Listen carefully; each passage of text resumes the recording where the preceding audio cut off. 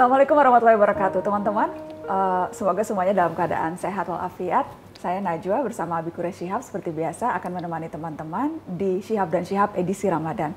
Abiku, di episode ini uh, kita mau belajar soal silaturahmi. Ada juga yang bilang silaturahim. Betul. Sebetulnya itu perbedaan ucapan saja atau maknanya juga berbeda, silaturahmi, silaturahim? Mungkin ada yang menganggap sama. Tetapi kalau kita kembali kepada bahasa, itu berbeda. Satu sempit, yang satu luas. Hmm. Eh, mari kita lihat. Silaturahim, rahim itu tempat peranakan. Ya. Sehingga eh, mereka artikan silaturahim adalah menyambung hubungan yang putus antar keluarga. Hmm. Nah, keluarga ini lagi bisa luas, bisa sempit. Ada ulama yang menyatakan yang dimaksud dengan keluarga ini adalah semua keluarga yang statusnya haram dikawin. Kenapa demikian? Karena ada ancaman. Siapa yang memutus hubungan kekeluargaan, dia terancam neraka. Nah, itu satu. Tapi kalau kita berkata silaturahmi, rahmi itu terambil dari kata rahmat. Hmm. Jadi silaturahmi adalah menyambung rasa kasih sayang.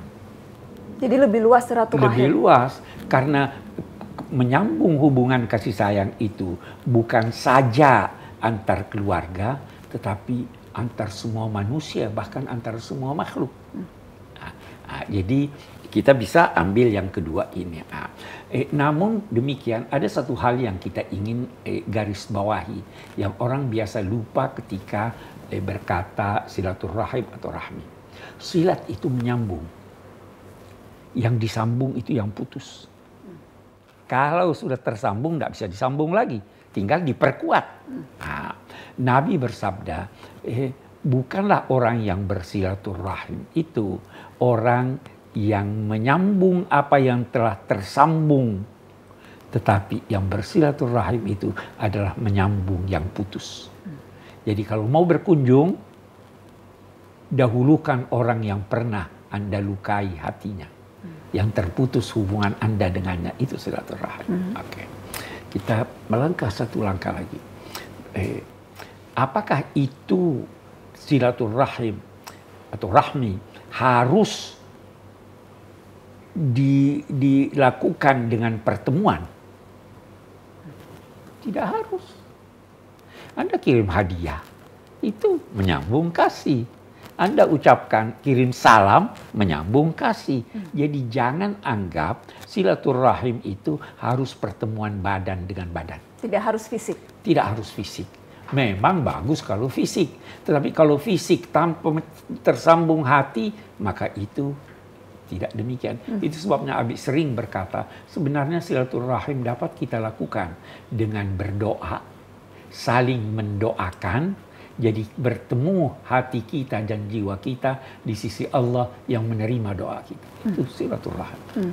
Konteksnya sekarang di masa pandemi di mana kita uh, jangan mudik karena justru ketika kita mudik tujuannya bersilaturahmi atau bersilaturahim tapi justru akan menimbulkan kemudaratan. Kemudaratan karena itu Abi tidak menganjurkan jangan fahami silaturahim dan atau rahmi itu harus berkunjung. Satu hal, silaturahim itu memang wajib ya, tapi bukan rukun Islam.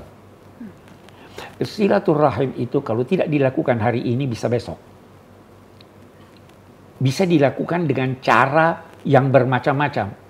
Abi mau ambil satu ketentuan agama yang hanya dilaksanakan sekali setahun dan hukumnya wajib haji. Haji. Haji pun kalau bisa menimbulkan mudarat maka tidak menjadi wajib. Haji pun kalau ada pandemi tidak wajib ke sana. Bahkan orang yang sehat, mampu, tetapi punya biaya untuk berangkat ke sana, tetapi tidak mencukupi biaya untuk keluarga yang ditanggungnya, tidak wajib haji. Apalagi berkunjung dalam apalagi mudik. Apalagi mudik. Padahal silaturahim dapat dilakukan dengan cara yang lain, haji tidak bisa dilakukan kecuali kalau berkunjung ke sana. Hmm. Jadi sekali lagi, yuridullahu bikumul yus wala yuridu bikumul us. Allah menghendaki kemudahan buat kamu, tidak menghendaki kesulitan. Allah tidak menjadikan sedikit pun dalam konteks beragama satu kesulitan buat kamu. Hmm. Di mana ditemukan kesulitan, maka di sana ada jalan keluar jalan keluar itu bisa dengan menggantinya dengan yang lain atau bisa dengan menggugurkan kewajiban itu. Ini agama. Iya kan jadi jadi apa saran Abi alternatif silaturahim atau silaturahmi yang bisa kita lakukan di masa pandemi ini Bi? Karena kerinduan ingin bertemu, keinginan untuk Kalau menyambung sekarang rasa. ini jangan sekarang ini jauh lebih banyak caranya. Telepon. Nah. Dulu enggak bisa enggak ada telepon.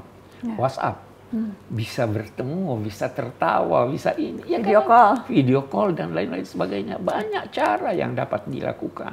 Daripada menimbulkan risiko.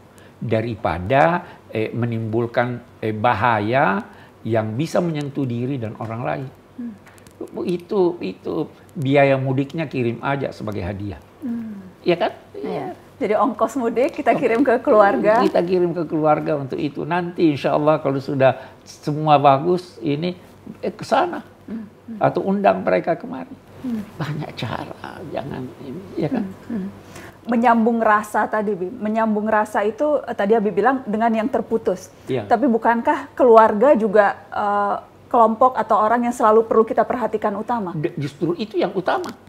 Yang utama kita menghubungkan yang putus dalam hubungan kekeluargaan. Ya, karena ini merupakan kewajiban. Ini orang yang paling dekat kepada kita.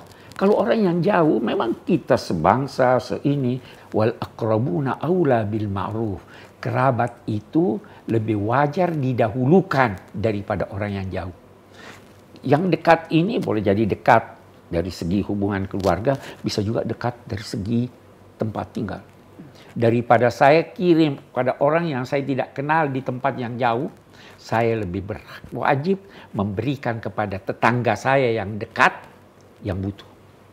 Karena oh, yang dekat itu kalau setiap orang memperhatikan keluarganya, setiap orang memperhatikan siapa yang berada di lingkungannya, tidak akan ada orang yang butuh. Ya kan? Hmm. Jadi nah, mari dahulukan tetangga iya, kita, orang-orang tetangga, kita mendahulukan keluarga. Hmm. Gitu. Insya Allah menjadi pengingat untuk kita semua. Terima kasih Abiku. Terima kasih teman-teman sudah menyaksikan Sihab dan Syihab. Wassalamualaikum warahmatullahi wabarakatuh.